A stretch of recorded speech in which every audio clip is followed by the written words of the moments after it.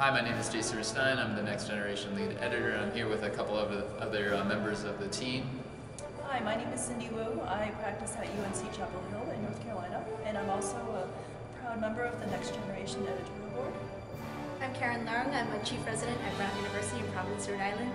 Again, I'm also very happy to be part of the Next Generation board. And I'm at UCLA, and today we're going to discuss a few topics. We want to talk about what it's like to start practice and going through that. And then we also want to talk about uh, whether or not to do a fellowship and, and uh, how you start that process. And I hope you find it uh, informational.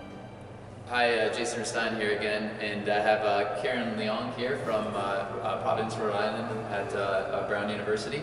Um, she's going to apply to aesthetic fellowship and thought it'd be great if she could share her experience a bit with us. So go ahead. So what was it like trying to, you know, how'd you come to doing an aesthetic fellowship in the first place?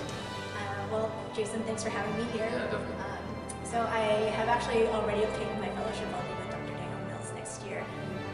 the process was it's a little disorganized, I have to say. It takes a lot of initiative. You go out and you contact these uh, fellowships on your own and you obtain their information and you build a spreadsheet, I think is what most of us do and try to compare.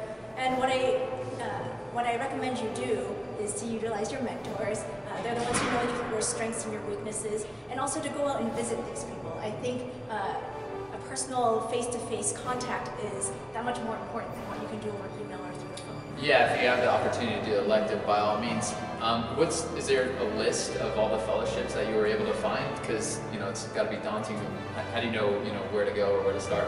Absolutely. So I recommend you all go to ASJ the site, and there should be a link there that will link you to the list of uh, aesthetic surgery fellowships. This is also available through the um, www.surgery.org site. Yeah, so so there's a there's a whole list for all the fellowships, and you can kind of run through that, and obviously location plays a factor, and then uh, again talk to your mentors and as far as who they recommend and, and, where you know some of the good training options would be. Um, so what made you first even consider doing a aesthetic fellowship? Again, mentors. I have excellent exposure in my residency to cosmetic surgery. They're the ones whose lifestyles I really envy, and they're the ones who are doing the most cutting edge surgery in my program. And you know, I said, why not? Yeah, I think I think we all appreciate the art of uh, aesthetic surgery. Um, you know, it's very appealing, and I'm glad you you found it. Yeah, thank you. One piece of advice for junior residents: if you're interested, start early. Uh, my fellowship director is looking for his 2018 fellow. So if you're looking now, start in your fourth year.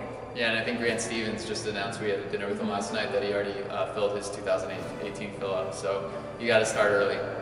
That's our last uh, closing words. So thanks so much for. Thanks, Jason.